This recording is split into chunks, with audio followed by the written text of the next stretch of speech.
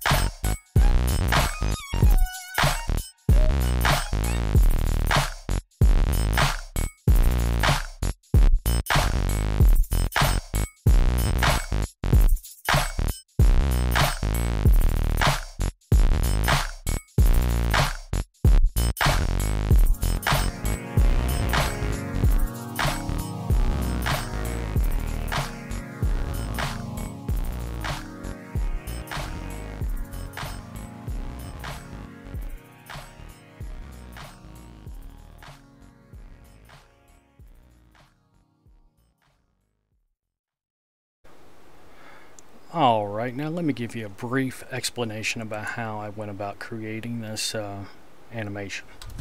And I am using, uh, as you can see here, Blender 3.6 for this, just because the only reason why I'm using 3.6 and not 4 something is because the uh, Molecular Plus works better in 3.6. Don't know why. Alright, now essentially all I did was um, the first thing I did was create one of these cups. And of course I just kind of put it off to the side. Then I created this um, container which that's self-explanatory. That's just to keep the particles from going all over the place for the most part.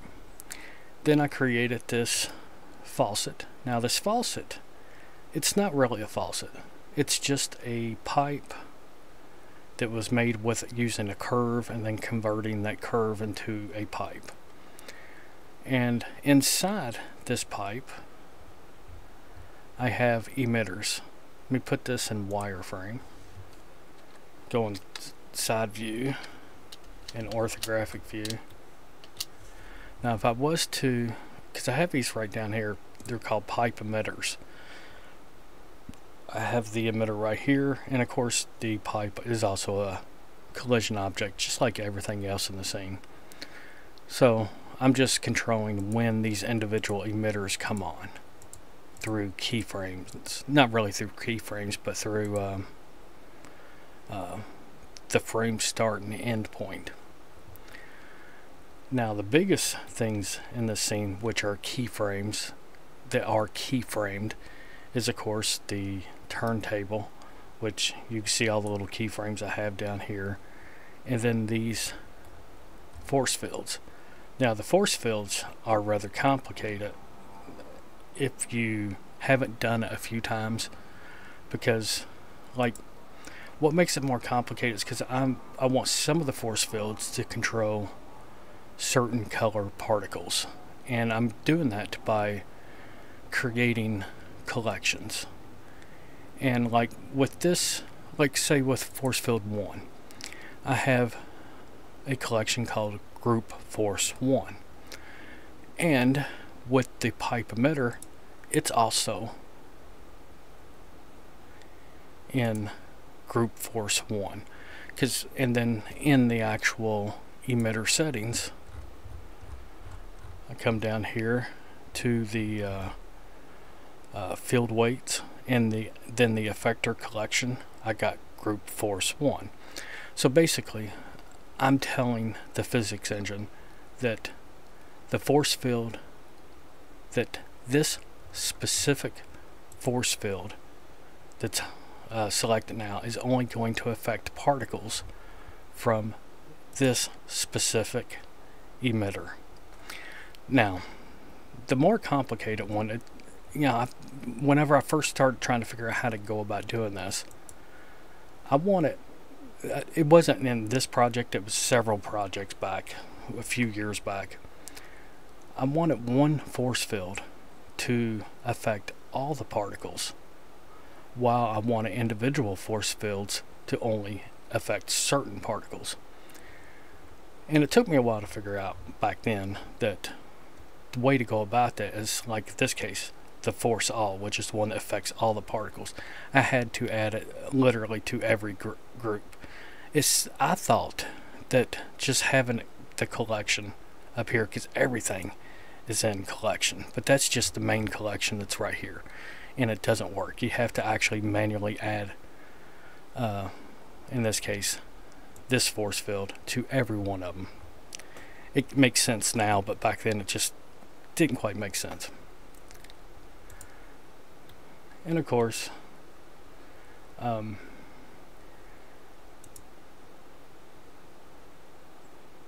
you know, everything's kind of keyframed. I had had to bake it, you know, several times to get it just right. But whenever I'm baking it, doing test bakes, I set the number of particles way lower than I'm doing here. Like in this case, each um, cup initially, or each emitter creates 10,000 particles. So each cup gets 10,000 particles. So you're talking 8 cups, that's 80,000 particles. Whenever I was doing test runs to get the timing and stuff like that correct, I was uh, using like a thousand particles. Um, yeah, it was a thousand, I believe because my computer could um, do that in pretty much real time and I would set the I would set the um, sub steps to like one that way for every two frames of simulation there would be um, one frame of bake if that makes any sense and that would be enough to ensure that I got the timings and keyframes right on everything before actually baking it for several hours with the full number of particles. But animations like this I kind of like because the whole idea of having some particles work with some force fields and some force fields control all the particles it creates a dynamic um, aspect to the scene that I think is visually appealing. And then like in this case right here, I think where it's just sucking up the particles one color after another.